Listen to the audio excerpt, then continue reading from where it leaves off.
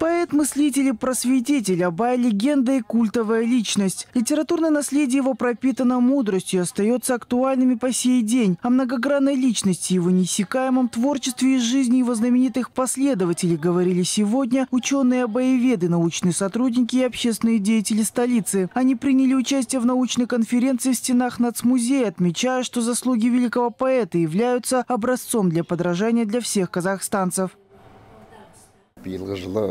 бүкіл қазақ бүкіл қазақстандықтар абайдың рухыменен В этом году все казахи, все казахстанцы, можно сказать, встретились с духом Абая. Проводятся различные мероприятия, посвященные творчеству великого мыслителя. Считаем, что нет ничего лучше, если в сердце каждого казахстанца будет жить дух Абая. Поэтому мероприятия, которые организовали в Национальном музее Республики Казахстан, очень уместны и необходимы. шараны да өте сондай бір игілікті шараның бірі ғой деп есептеймін в здании Национального музея также представили выставку, посвященную 175-летию Абая. Она охватила свыше 100 уникальных экспонатов, в том числе редкие образцы из фонда музея Жидибай Буэрле. Это книги, фотографии и личные вещи мыслителя.